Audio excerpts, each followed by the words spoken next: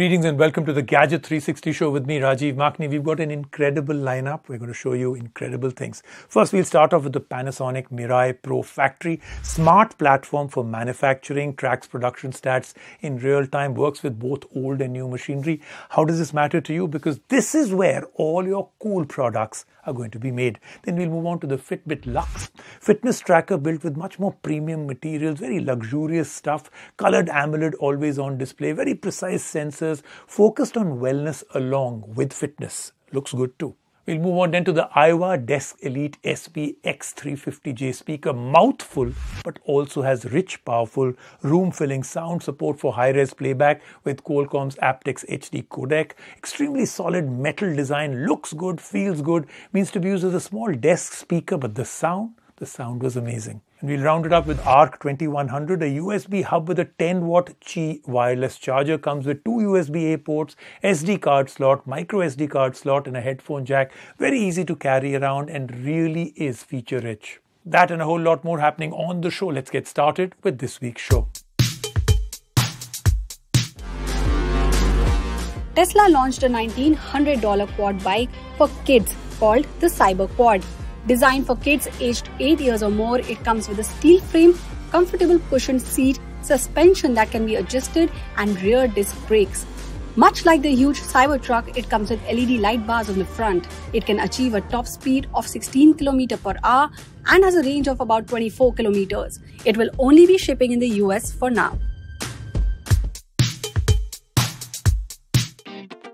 With the global chip shortage in full swing and scalpers not letting any of the current gen GPUs be in stock, Nvidia has come up with a solution. The company will be reissuing their older gen GPUs with upgrades. The first one in the line to be reissued is the RTX 2060, now available with 12GB of VRAM, double of what it was initially launched with back in 2019. Other OEMs will also be able to make their own custom versions of this card, and with the increase in VRAM, the price is also expected to be higher than the initial launch price of $349. Our top story today is the Panasonic Miraie ProFactory. You know, this is where we get to see how factories are evolving to the next level. A smart platform for manufacturers to help them track everything in a factory. It consists of devices called data loggers that can be fitted onto machines, both new and old, and all the data collected by these data loggers is sent to a dashboard which crunches out useful metrics that helps track production, machinery health, detects future bottlenecks. So this is our factory of the future. Usually we talk about products getting smarter. But today we're gonna talk about the place they're made in getting smarter. Panasonic is known mostly for consumer electronic products like TVs, air conditioners, washing machines, cameras. But they also manufacture machines which manufacture these products. Last year, they introduced their Miraie Smart platform which connects all of the products into an ecosystem controlled by the Miraie app on the phone. And now they have enhanced the tech behind Miraie to make it more useful to manufacturers as well. And that is what they're calling the Mirai Pro Factory.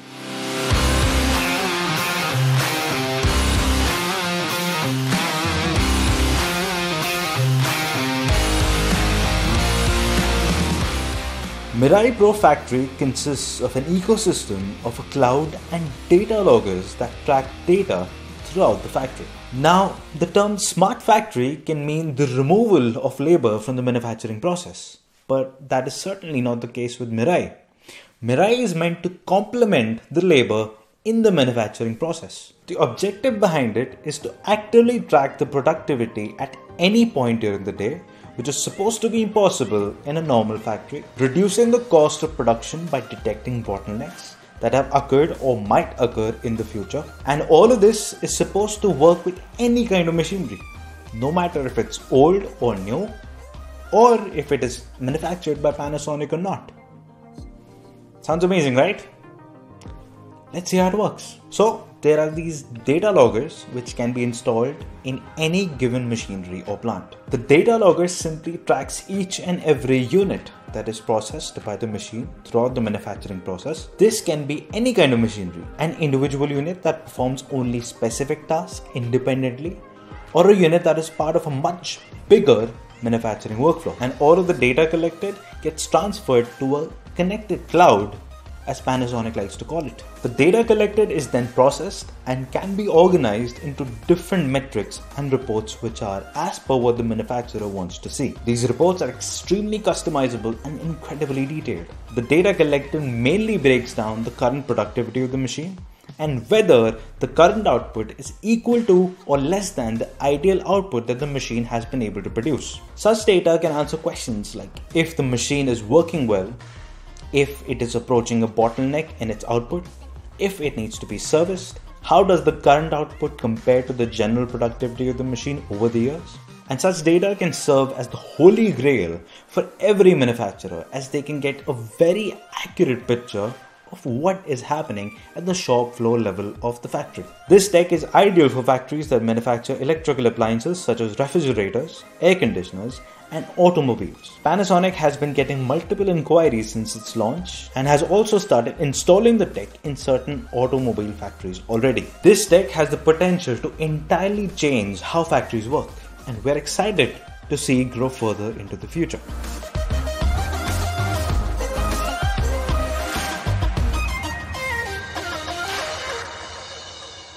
Our next story is a new device from Fitbit. Now, Fitbit not really being doing something out of the ordinary, out of the box. These were the people who really started off the whole fitness as a band entire revolution.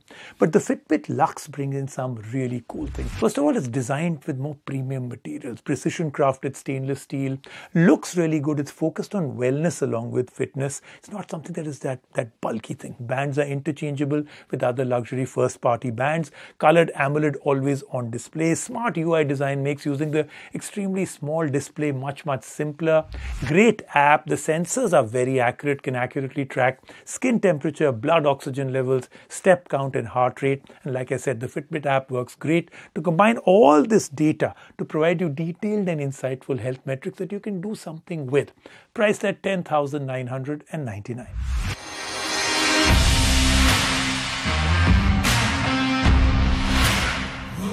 While most fitness bands get the fitness aspect right, all of them stop right there.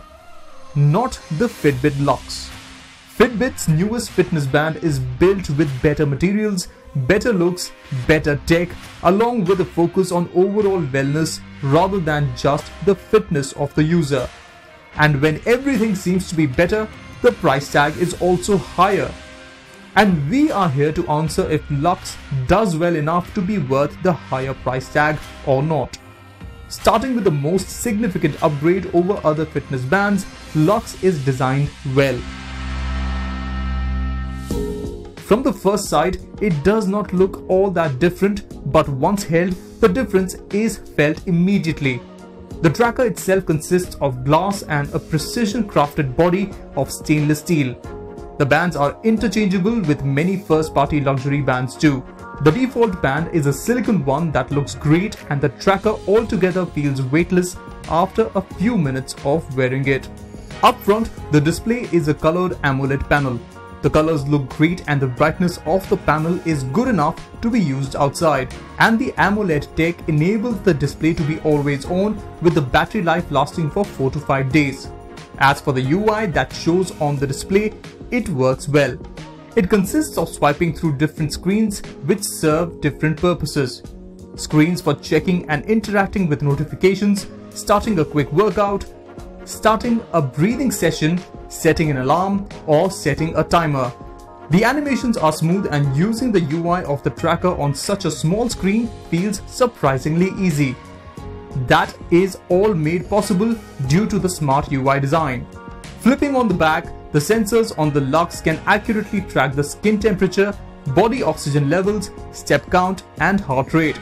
And all of the data from these sensors is synced with the Fitbit app whenever the user opens it. And with the app, the wellness ecosystem of Fitbit comes in to take the Luxe a step above. The app combines all the data tracked by the tracker and combines it to calculate scores related to different health metrics. For some scores, the tracked data is enough. For others, the users would need to log some of it in. Like for stress management, along with data about the user's heart responsiveness, activity stats throughout the day, and sleep data, the user also needs to log in how they are feeling to get an accurate stress score. These scores, while not helpful individually, can turn out extremely insightful over a long period of time. The user can easily see the long-term trends and find out if their stress management is getting better or if their sleep is seeing any improvement.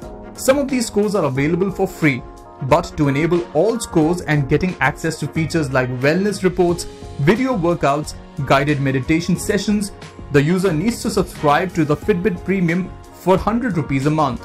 But with the purchase of the Luxe, 6 months of premium is available for free. The Fitbit Luxe is a truly premium product when it comes to design, and it also offers access to Fitbit's ecosystem of wellness data tracking, which is just another thing it does over and above what a normal fitness band can do. And for the price of 10,999 rupees, with everything the Luxe does, it is a product we can easily recommend to anyone looking for something that is designed beautifully and offers wellness features. Next up is a speaker that we all really, really liked. It's for your desk. It's the Aiwa Desk Elite SBX350J speaker. So Aiwa has the same problem as Sony. They just don't know how to name their products. But just like Sony, they're doing one good thing. They're coming up with great products. So it's meant to be a speaker placed on the desk, not meant to be carried around. Makes you feel the quality from the very first impression. As soon as you take this out of the box, it came in a wooden box to us. It's made entirely out of metal, feels as solid as a brick, heavy, therefore not portable, but it is sound. The sound is what really makes this one stand out. Offers room filling volume, wider sound stage, ample bass, that thump that you want, clear mids and highs. It also supports high resolution playback. The battery life is about 5 to 6 hours only, but then remember, you're not really going to carry it around. Priced at 17,990. We are here today to talk about something rather small this is Aiwa's Desk Elite SBX350J speaker. A powerful Bluetooth speaker that is meant to sit at one's desk to treat them with amazing sound. And in the next few minutes, we'll tell you if this speaker is worth it or not. From the moment you take it out of the wooden box the speaker comes in, it becomes obvious that this product is premium and focuses heavily on quality. Even though it is small, it feels heavy, which makes it less portable. The user would want to keep it away from dust or water as there is no IP rating. And while holding it, it feels like a solid piece of metal rather than a speaker with tech inside it. It is wrapped all around with metal, with metal mesh on the front and the back. Up top, one can find an LED screen with a power button, mute button, and volume controls underneath it. The LED screen shows the connection status along with Aiwa's logo in Japanese and English. On the right side of the speaker is a 3.5mm aux port and a USB-C port for charging. Inside the solid metal are front and back bass radiators and 40mm active audio drivers. These components are responsible for producing the rich sound out of both the front and back of the speaker. Apart from this immense volume out of the speaker, which fills the entire room with sound, the speaker gets plenty of other things right too. The details of the music are crystal clear. The highs are comfortable and accurate. The bass is dense and strong. Every note sounds nice no matter the choice of genre. And with the wide soundstage of the speaker, there is proper separation between instruments and using it while watching movies also ends up being a great experience. The speaker is also capable of being paired with another unit which can create a stereo output and higher volume for parties.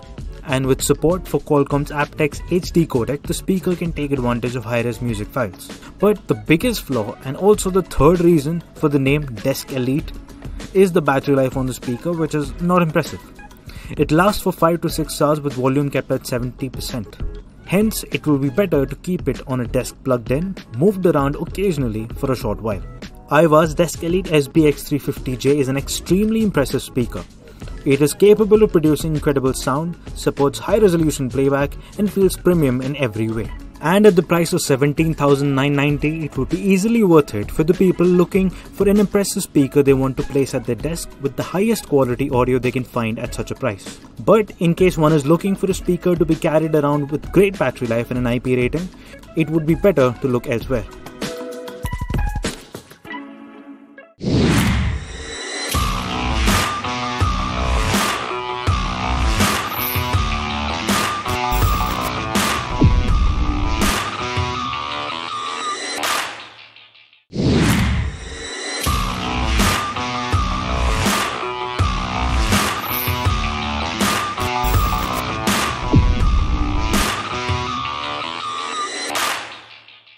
Next up is a USB hub and wireless charger, the ARC 2100 USB hub.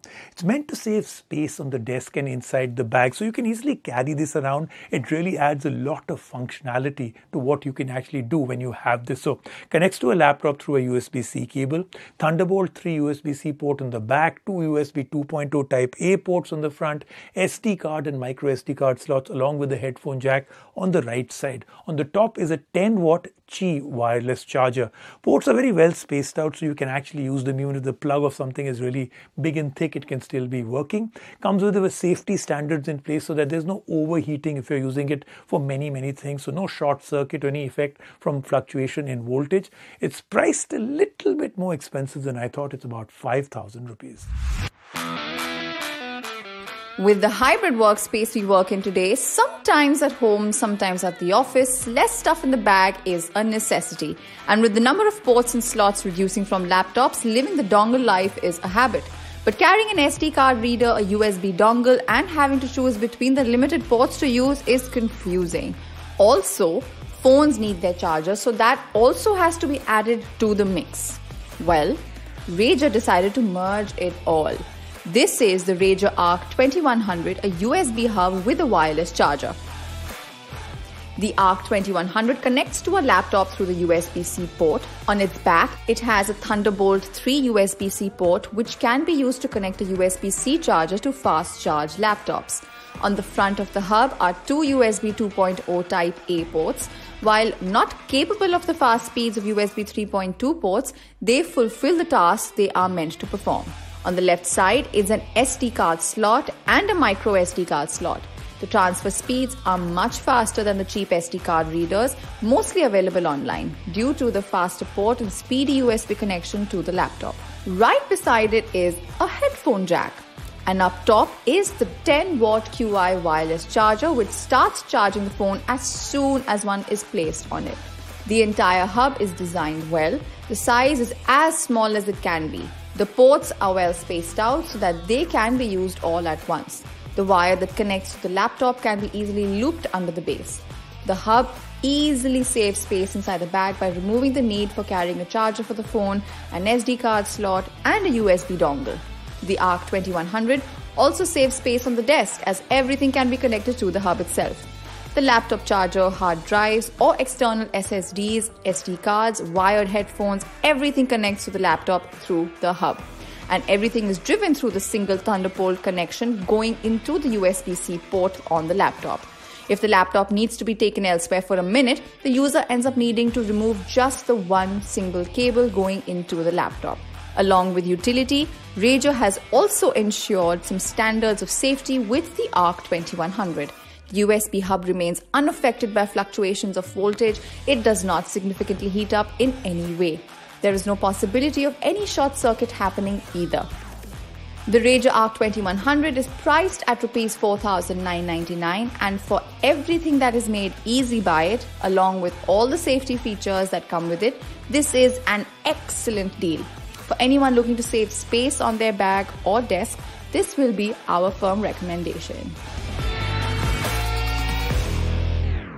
That then was the Gadget 360 show for this week. Do remember, as always, we've got incredible stuff coming up next week. Do join me then.